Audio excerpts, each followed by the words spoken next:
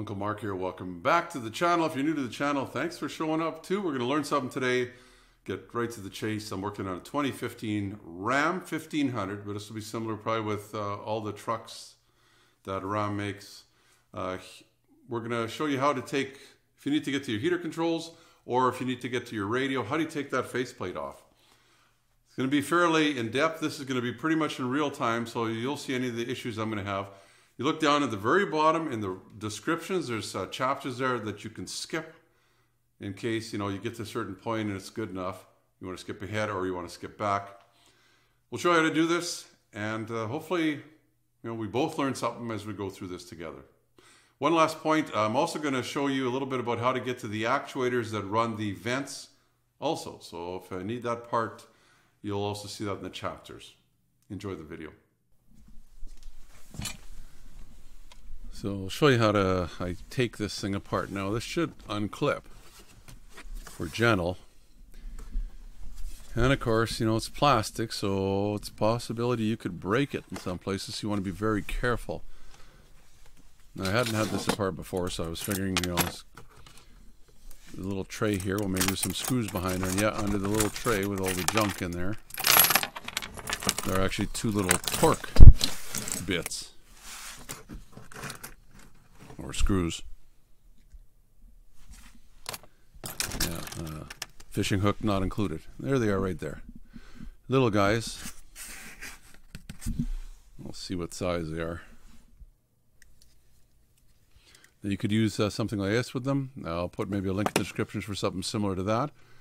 Uh, but I actually had a screwdriver with the right tip on it.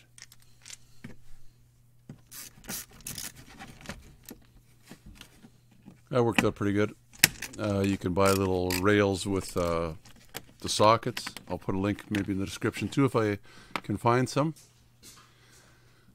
And uh, I was checking in this truck, is there anywhere else? And it looks like just the top had the screws. But it's easy to break, so I want to be careful. Yeah, more junk. You don't want to do this in the cold because, you know, that's when things break.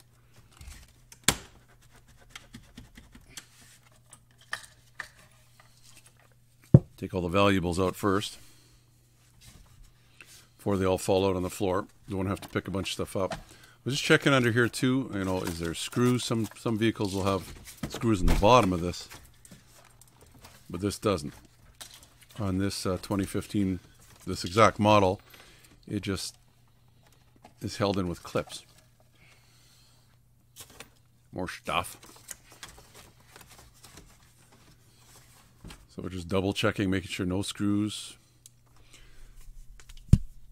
And you can see if we look in here, there's a couple clips where at the very bottom, where in the back. Oh, there you go.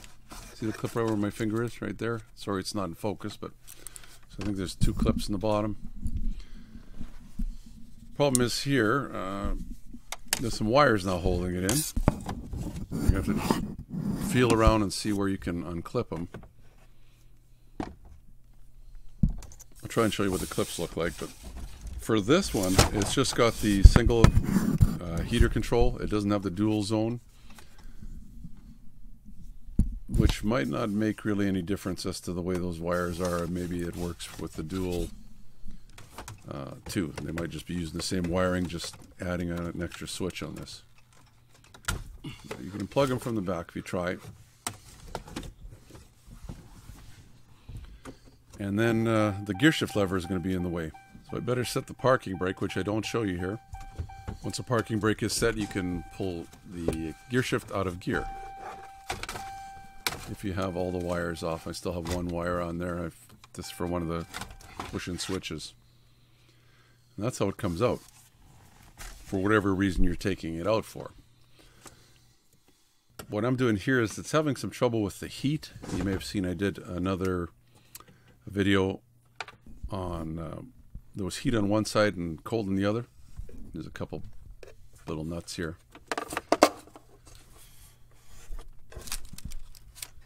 Uh, I think there's four on the top and two on the bottom.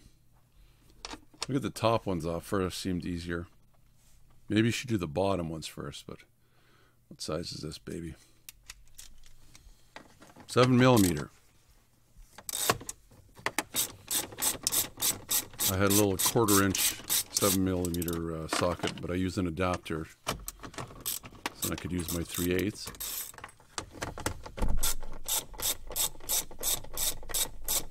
Try and get them all out. Speed it up for you a little bit. There should be some chapters in the description below if you need to skip ahead or if you need to see a part again. I'll move you over uh, down below and show you how this piece, this clips on here too. Gently each side. And then you'll be able to access, there's uh, two little bolts under here too. Same size as 7 millimeter. See the one there, way up there, and on this side. There, you see it. Plus, got those little fingers that kind of hold everything in place. So we'll do the same thing. Take them out, just put your uh, little bolts or screws, whatever you want to call them, somewhere safe.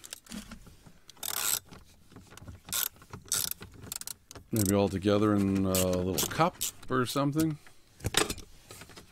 Usually I have this little dish that's magnetic and it holds them all together. I don't know why I didn't use it this time, but then this should pull out. Now on this one, on the left side, there's a power outlet there you can see. We'll have to unplug that. I think this one is uh, switched to the key. There's one on the other side, but I couldn't figure out how to unplug it. It just seems a little different. I think it's a USB charger. So I played around with it a little bit, and it's like, ah, just leave it hang there. Look at that. And I found this, uh, typical Canadian, Canadian Tire Money. It's uh, kind of like a hardware big store, and they have their own, uh, it's a reward. They used to give you actual money like this. It's even serial numbered. You can use it to buy things uh, back at the store. There are actually other places in Canada would actually take it as legal currency. Not everywhere, but you know they would let they they could spend it on stuff they wanted to. Mostly little mom mom and pop places. And we'll try and get this thing back in. Uh, I didn't know how it came apart, so I unplugged it all. I guess you didn't really have to unplug it. Uh, I need it plugged back in because I want to be able to run uh, your vents. Some issues with uh, which vent is working, which vent isn't. Is it going to the windshield? Is it going back down to the foot? So it's plugged back in, and I'll show you the little servos that are in behind here. And these basically just run the blend doors for, like I say, defrost, heat, uh, heat on the floor or cold on the floor, and your vents. And there's two of them because you can do a bunch of different things, right? You can do just defrost on the windshield, or you can do air on the floor, or you can do your vents. But then they do some tricky stuff where you can do, I believe, defrost and your feet, or the vents and your feet, or the vents and defrost in the windshield. So they actually use two different little servo motors to open a couple different blend doors.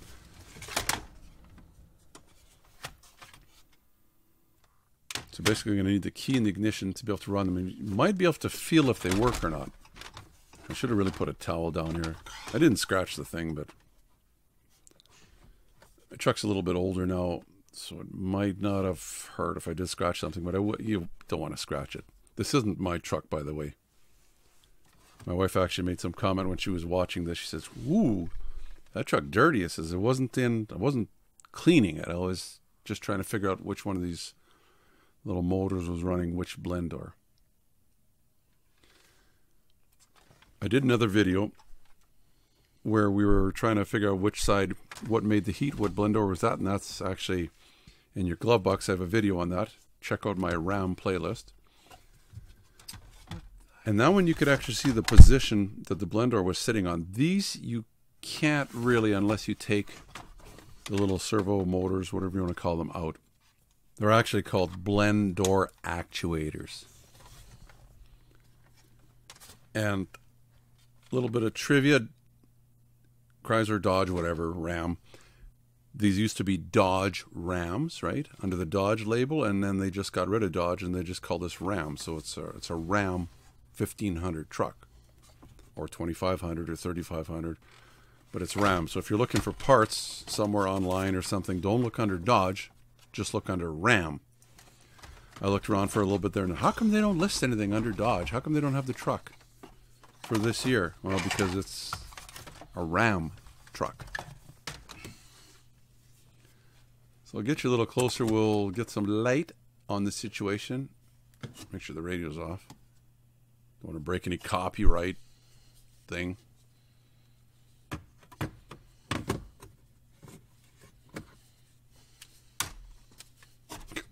It's hard to get all your lights lined up and stuff like that. That's why you see a lot of guys, they just show you from here, you know, good enough, right? Well, not good enough for us.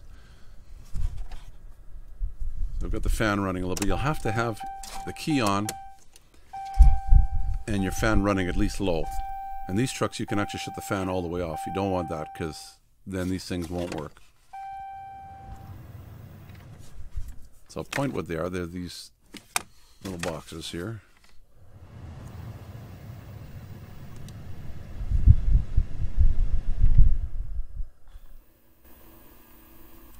Can you hear that?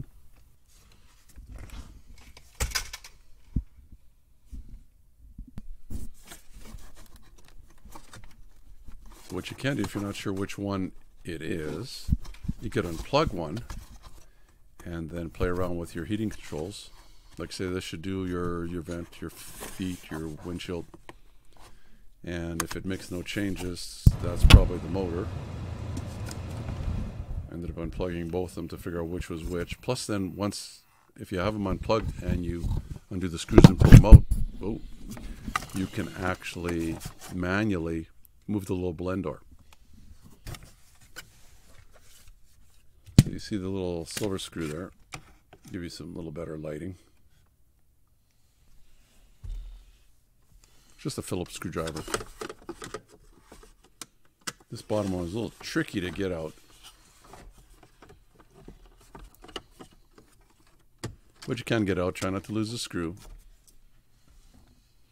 Then I use the stubby because this uh, thing in front of us here that holds all the heater controls is just in the way. You can get these screwdrivers just about anywhere. Don't use the stubby too often, but when you need it and you don't have it, let's just pull straight out. Ooh, the door closed. They're kind of weighted. So you want it to be either all the way to the left or all the way to the right.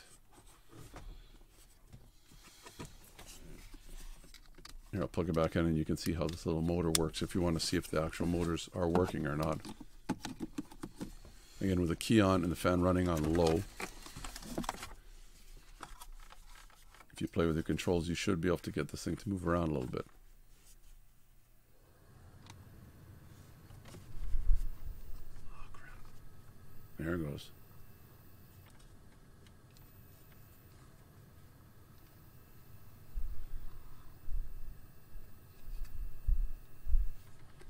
Like you say, you should have it either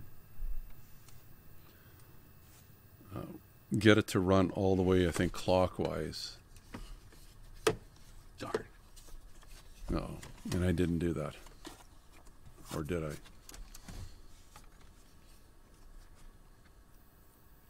I think that's the way it is.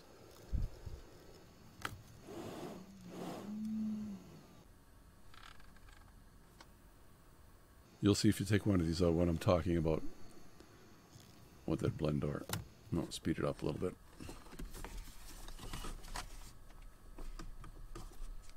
See with my finger I can actually No, it looks like no, this one's counter. No, clockwise. Sorry, yeah, clockwise. Scratch that.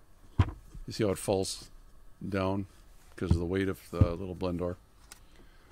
So you want to make sure your motor is turned all the way, or this actuator all the way to the right before you put it on. I just wanted to make sure it wasn't sticking or nothing. That's another thing. Sometimes those blend doors fall apart inside there and they jam. So this is another way to show that it is working. So we know this motor is working and the blend door is working. Put those screws back in. And I'll take the other one off.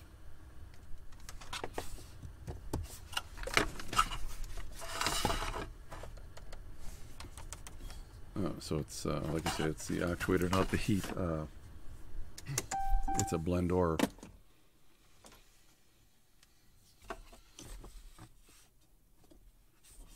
Try to put the screws back in.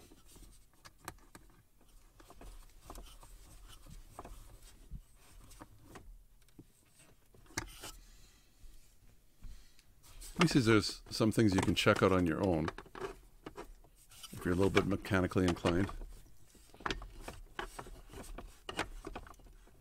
If you're paying 100 $150 an hour for somebody else to look at it, if you could figure out that one of these didn't work and it was actually that unit and not, you know, I'm going to label it because this truck might come back and might save me some time.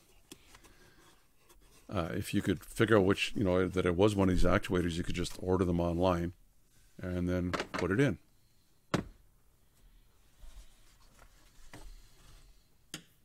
I believe these two are identical. They've just got one upside down and one right side up.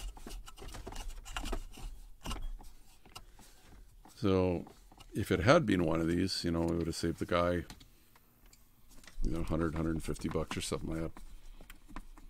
But unfortunately, that wasn't our problem here.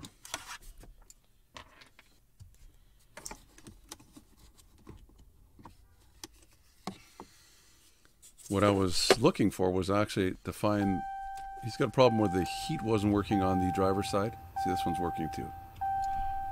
So we know the little actuator actuates. And I'll check the blend door too.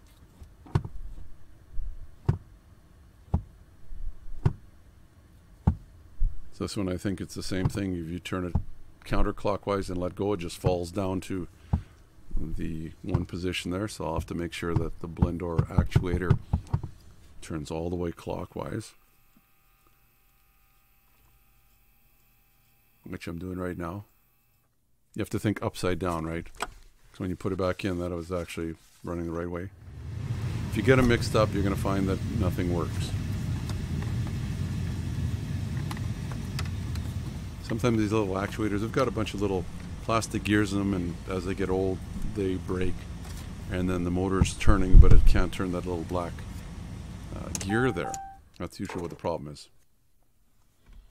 And of course, if none of these move, then you probably have a problem somewhere else, possibly your controller. So I'm going to, I've got vent defrost, yeah. They kind of are dual purpose, so it's not really correct what I've written on there, but so back to if you've taken this all apart, but maybe you're at, going at your radio or something, maybe the radio is old enough it's not working now and you just want to replace it. You may have an issue with that too. A lot of them have to be coded to the vehicle. So you'll plug it in and it still won't work. Uh, some vehicles, you have to do some special things before you take it out of the old vehicle. Otherwise, it goes into security mode and it'll never be able to be put in another vehicle just by unbolting and unplugging it, you can't do that. So I would, if that's what you're planning on doing, check around, do some research, see what you can do and cannot do.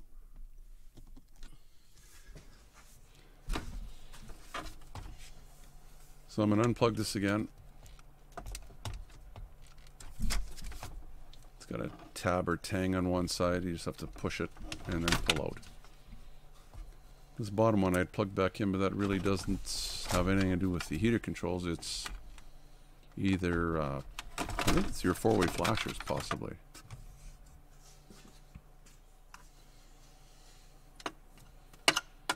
Let's see how this all goes back in. Now you're not going to want to forget to plug in this power um, outlet, I guess is what it is. So it's this white one only goes in one way and you need well I'm trying to hold a camera and plug this in. Not easy to do unless you had both hands free which I probably should have thought of when I was filming this. Anyway click it's together.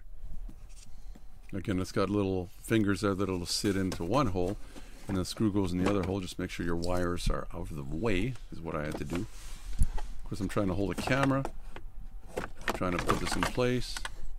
Sorry, don't, if I'm making you sick by moving around too much. I'll sit it on a tripod here again, a little tripod. Not much room in this truck. It's a regular cab truck. I can't even see where I'm poking that in there. You might need a couple of extensions just to give you some room.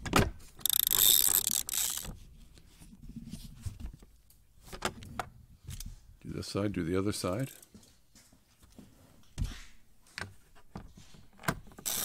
Have to jiggle this stuff around too so it fits properly.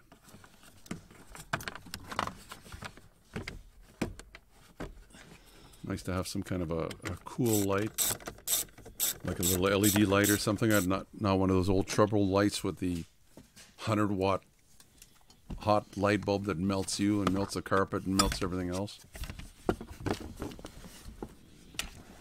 I'm just using an LED flashlight with a long um, Oh, remember the little snaps or fingers are going to snap back in there.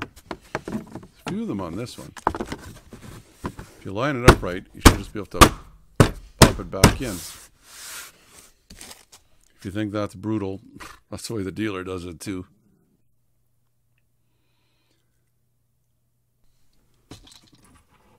So let's do the top bolts now, I guess. Uh, there's two. There's that one on the right, one on the left.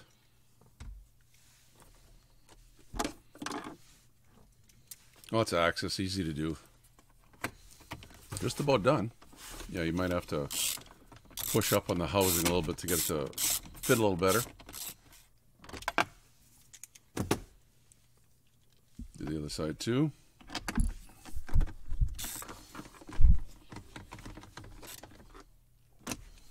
We're on the home stretch. Now we just have to plug this stuff back together. Now these two, um, one is for I think it was your four-way flashers, and one is for uh, yeah. there's those little fingers going to snap in there too,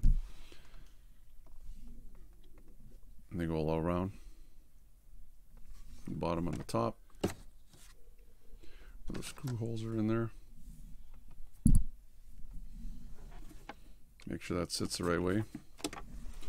Your truck might have more than this. Has got two there, and then it's got this one here for something which nothing plugs in there. So you don't have to worry about that one here, but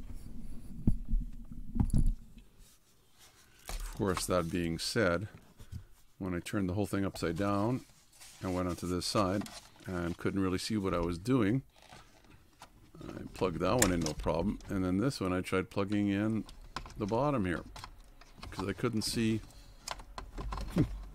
where it belonged belongs, I guess is the right word. Give me a second here to figure out. It's like, well, which way does that go? And it sure doesn't seem wide enough. And if I could see what I was doing, there's no little fingers there, contacts to even plug it into. Oh, there it goes, yeah. Brainwave. That one's for something else, not for this one, yeah. Maybe your truck has that option. And those little fingers just snap click in there. Again, you want to make sure it's warm when you do this. Gear shifters probably, probably should have mentioned earlier, set your emergency brake.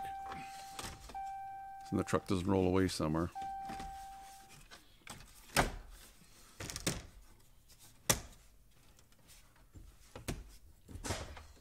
There you go, that was easy enough. Now, make sure it's all clicked in there properly. Those two screws on top, the little Torx.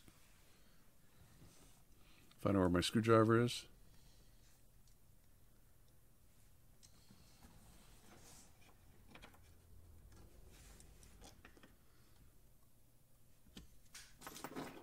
Put those both in there. Where's the other one?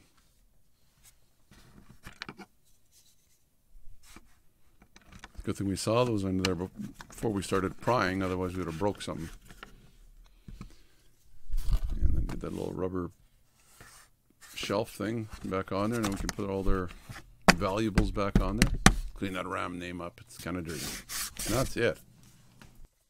So it was pretty easy. We didn't break anything. That's always a plus. Uh, trying to do it when it's cold. Uh, it's wintertime right now, 2021. Uh, what are we? March. And it was a little cool in the garage. I did have some heat on, but the truck sat in here for a little while. You don't want to break those pieces. Hopefully that helps you. You can check out my RAM playlist. Uh, I've got a few things. We'll be working on this truck a little more as things happen. And uh, maybe we'll figure out this issue with the heat too on the driver's side. You can subscribe down in the corner if you haven't already. Uh, like I said, RAM playlist up in the corner. Uh, check out the channel too if you haven't before. Lots of different things. We were working on our fifth wheel camper a little bit, a few videos on that. We'll keep expanding all these different playlists. Enough of me yakking. You take care. If you haven't subscribed, uh, the little dog will show you how.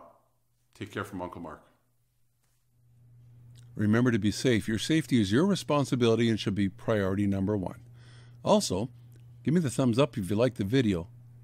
Plus, please subscribe and you'll get all the notifications. It's easy. The little dog will show you how. Ring the bell. Ring the bell.